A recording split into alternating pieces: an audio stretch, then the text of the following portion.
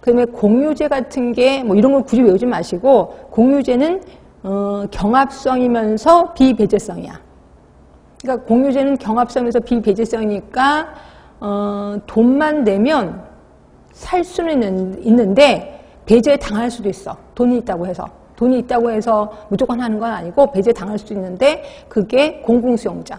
공공수용자이면 뭐 꽉 차. 그 다음에 못 들어가잖아요. 그러니까 이거는 돈, 돈만 낸다고 해서 무조건 들어가는 건 아니야. 하여튼 그래서 이거를 경합성이면서 비배제성이라고 한다는 거. 돈이 있어도 배제 당할 수가 있는 거고요.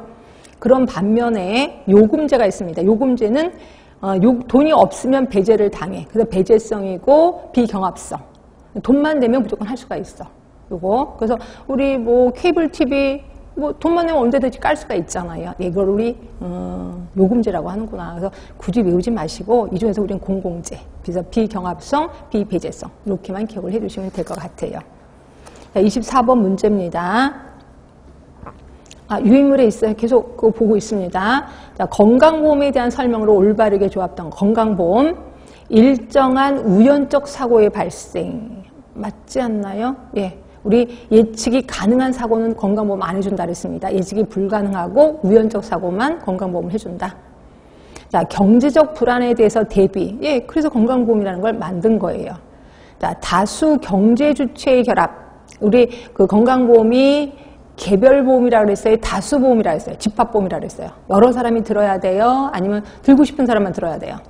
여러 사람이 강제로 들어야 되겠죠? 이게 다수 경제 주체의 결합이야. 그러니까 다수가 들어야 된다는 거죠. 그렇죠? 그래서 그 말이고 확률 계산에 의한 각출 요게 모르겠는데 확률 계산 혹시 그거 기억하세요? 사회보험하고 민간보험의 차이점 중에 보험료가 뭐 위험률 보험료제 그 다음에 또 하나 평균율 보험료제 그런 거 기억하시죠? 위험률이 어떤 거예요? 위험률? 예제, 인간보. 그래서 위험한 사람이 보험료를 더 내는 거죠. 더 많이 아플 사람. 그런데 비해서 사회보험은 평균율이었거든요. 평균율. 그죠? 이거였는데, 그럼 이걸 뭘로 해석을 해야 되냐 이거죠. 확률 계산에 의한 각출이야. 확률. 그럼 이게 뭐야? 평균율이야, 위험률이야? 확률 계산. 응? 이걸 뭐라고 해석을 해야 되느냐 이거죠. 확률 계산은, 자, 이거, 이거, 평균율. 평균율. 그러니까 대부분 이런 돈을 버는 사람들은 이 정도 돈을 내야 돼라고 하는 게 확률 계산에 의한 각출. 그러니까 평균율 또는 집단율이라고 표현하시면 돼. 결국 답은 4번이 맞습니다. 4번. 네, 그래서 이건 좀 이따 다시 민간보험하고 그 차이를 다시 한번 연습을 좀 해보긴 할 겁니다. 답은 4번인 거고요. 다시 오세요. 이제 25번으로 오세요. 자, 25번 국민은 누구나 생존에 필요한 최소한의 의료 서비스를 받을 권리가 있다는 내용과 관계가 있는 사회경제법. 아, 최소한의 의료 서비스를 받을 권리가 있대. 그러면 보건의료 서비스가 뭐라는 거예요? 공공재라는 거지. 예, 그래서 답은 1번. 나머지는 할 게 없습니다. 답은 1번.